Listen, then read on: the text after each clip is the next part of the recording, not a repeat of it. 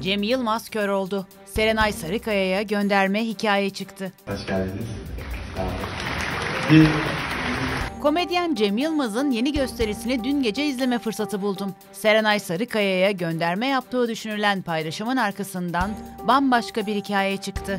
Politik mizah yapmamakla eleştirilen Cem Yılmaz'dan nasibini ıstakoz paylaşan AKP'li Şebnem Bursalı ve siyasetçiler aldı. Uğurcan Biçer yazdı. Komedyen Cem Yılmaz'ın Zorlu PSM'deki oyununu dün gece izledim. 21'de başlayıp 23'te biten gösteride Cem Yılmaz bildiğiniz gibi izleyenleri bolca güldürdü. hoş geldiniz. Bilet fiyatlarının 750 TL ile 10 bin lira arasında değiştiği gösteride salonun hınca hınç dolması da Cem Yılmaz'ın kalitesini gösteren detaylardan oldu.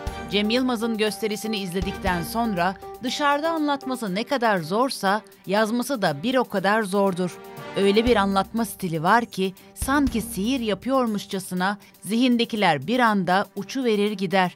O nedenle özellikle ara verdiğinde notlarımı aldım ki unutmayayım. Ve gösteri biter bitmez yazmaya koyuldum. Magazin konularından anlamam, ilgilenmem de. Ancak yoğun ve sıcak gündemle haşır neşir olurken birçok şeye de ister istemez dahil olabiliyorsunuz. Hele hele hayatınızın ta içine giren sosyal medya denen meret varken. Gelelim sadede. Geçtiğimiz gün oyuncu Serenay Sarıkaya'nın GQ dergisinin ödül gecesinde giydiği elbisenin dekoltesi bayağı bir gündem oldu. Bu olay sıkça konuşulurken güzel oyuncunun eski sevgilisi Cem Yılmaz Instagram hesabından pörtlek gözlü komedyen Marty Feldman paylaşımı yaptı. Bu paylaşım sosyal medyada Serenay Sarıkaya'nın dekoltesine gönderme olarak yorumlandı. Sosyal medyada Cem Yılmaz linç yağmuruna tutuldu. Cem Yılmaz dün geceki gösterisinde konuya açıklık getirdi.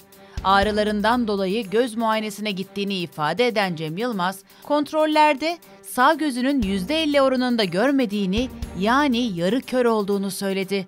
Retina problemi yaşadığını anlatan komedyen, doktorun lazerle işlem uyguladığını ve 6 ayla 1 sene arasında düzeleceğini kaydetti.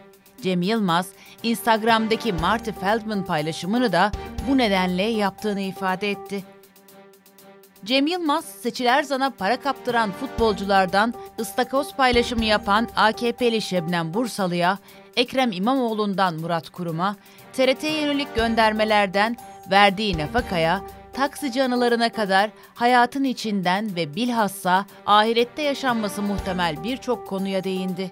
Neticede Cem Yılmaz izleyenlere dolu dolu iki saat yaşattı. Daha fazla uzatmayayım.